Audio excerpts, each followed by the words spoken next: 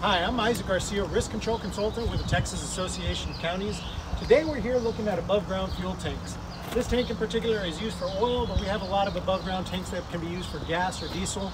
And what is important to know is that TCEQ requires a secondary containment system or a dike. In this case, we have our secondary containment system built out of a concrete pipe. Where many counties go wrong and where they get into trouble is they have a drain system built into this above ground dike. If this fills with water due to rain, we can always open this valve, drain that out. But if we leave the valve open all the time, that does nothing for us. And if that tank were to leak, we'd have all this oil, gasoline, or diesel coming out of there. This is something that we pay attention to when we're doing our risk control surveys. Essentially what we can do for you is go to your yard, go to your building, go to your facility, take a look at it and point out any deficiencies that we see, provide recommendations for your building, for your hazards, or workers' comp recommendations. If you want to schedule one of these, contact your TAC Risk Control Consultant.